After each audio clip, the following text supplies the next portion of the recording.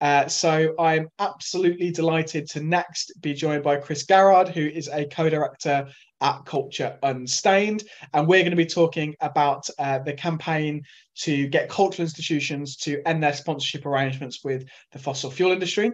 Before we get into any of that, Chris, it's an absolute pleasure. How are you doing today? I'm good, thank you. How are you doing? Good. A little tired, a little stressed. It's always a bit busy on these days, but uh, yeah. we're getting there.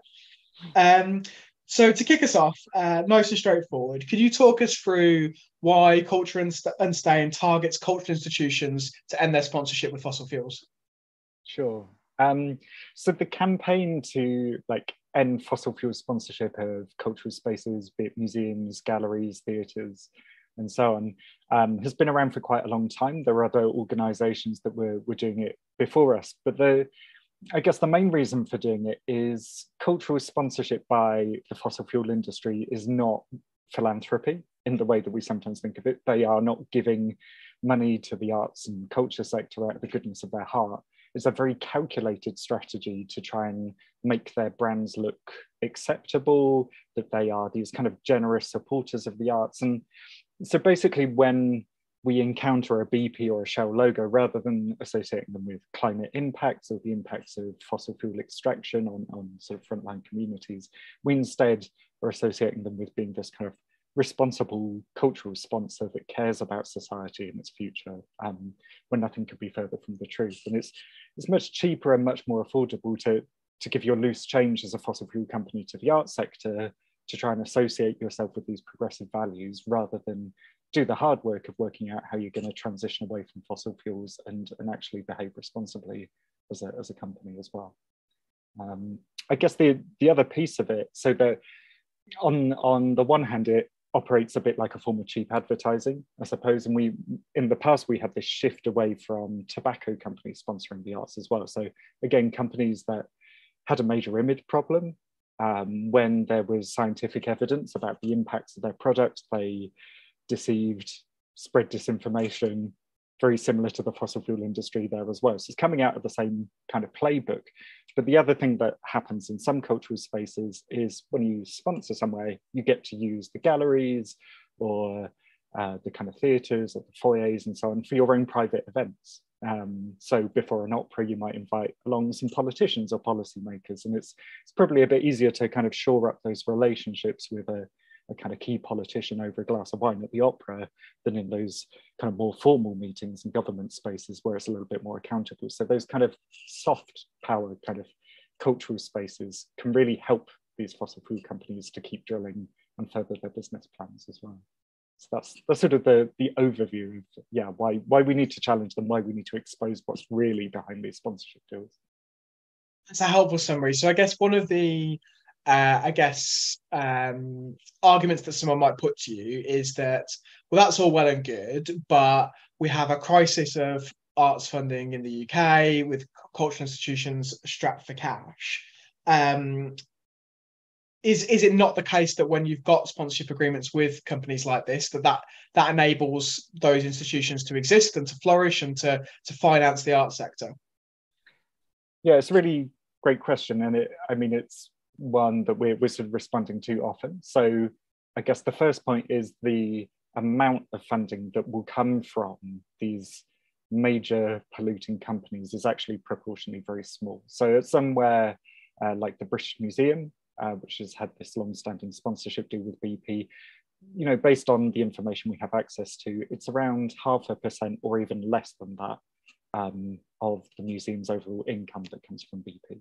So when they sort of say, oh, we rely on a BP or a Shell in order to deliver what we do and keep the doors open, that's actually really misleading because the core funding is coming from the taxpayer, other sources, other kind of potentially more uh, kind of ethical or acceptable corporate sponsors as well. So we don't rely on that fossil fuel money in the way it seems.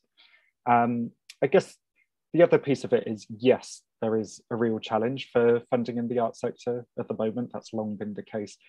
Um, but I guess one of the things we would point to is the, the kind of tax breaks and the subsidies and, and that uh, kind of piece that means the fossil fuel companies are essentially giving this kind of loose change again to help boost their image. Whereas actually, if we were taxing them more effectively, we would have more money coming into the Treasury that could sustain arts funding to a much better level. Um, we we sort of did an infographic about five or six years ago just to illustrate the, the kind of difference in scale of like what the tax breaks and incentives to the North Sea were like, and it was far outstripping anything these companies were giving back to the art sector as well. So again, it really showed that this was a form of kind of brand management and cheap advertising for them as well.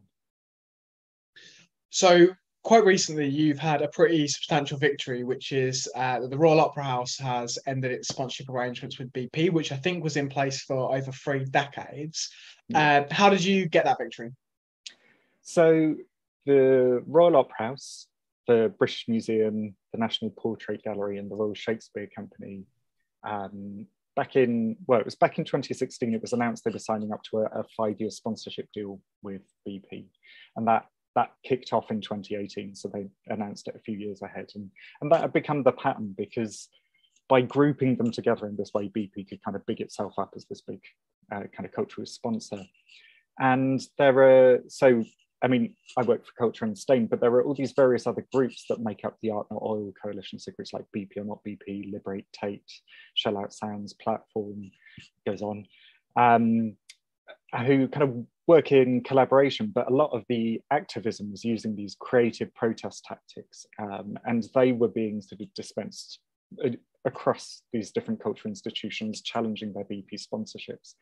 And so specifically at the Royal Opera House, which was in some ways quite quite surprising that it shifted um, because that relationship was so entrenched. But over the years, there had been protests popping up inside the opera house during the interval. So again, not disrupting the opera itself, but trying to raise those issues in that space.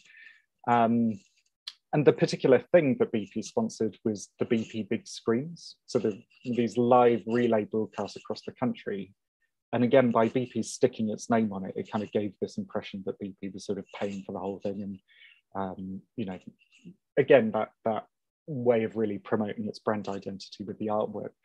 But that offered a really lovely kind of forum for creative activists um, to go into those spaces. There were musicians from Extinction Rebellion one time, there were people from Art Not Oil who went into Trafalgar Square, there were dance-based protests. So people really using these kind of whole range of creative tactics to disrupt, engage, provoke conversation in, in quite imaginative ways. And that really ramped up the pressure. And then at the same time, some of the work that uh, I was doing with, with Culture Unstained was getting uh, composers and musicians who were really passionate about climate and the environment to kind of back letters um, to kind of raise these concerns on social media and really put that pressure on, on the management and leadership of the Royal Opera House as well.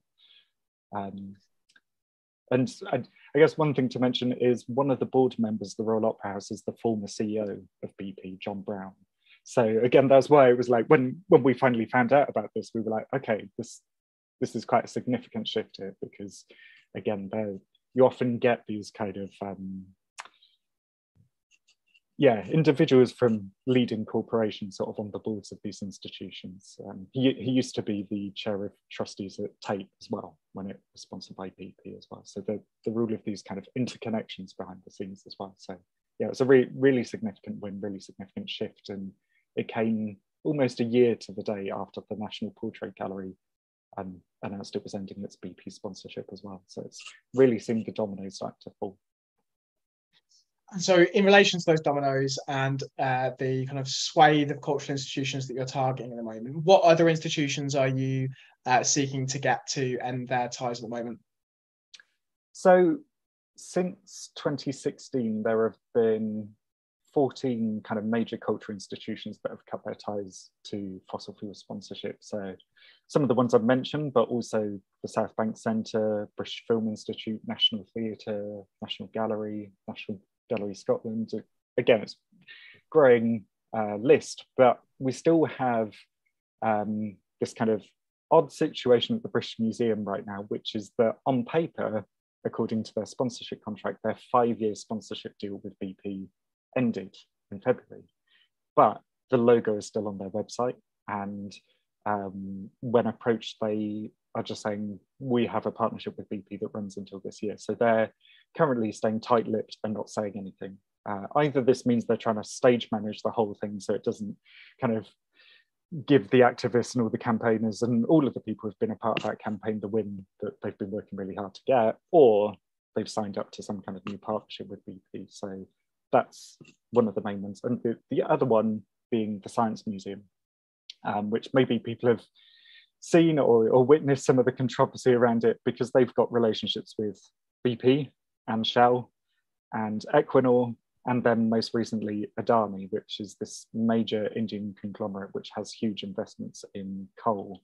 Um, that was controversial enough in itself, but very recently there's been this major report from um, Hindenburg, who basically have exposed um, examples of fraud and mismanagement. And I guess crucially for us is that the Science Museum is saying, oh, we're not taking sponsorship from Adani um, as a whole, we're just taking it from this bit of the company, Adani Green Energy, which is involved in renewable energy.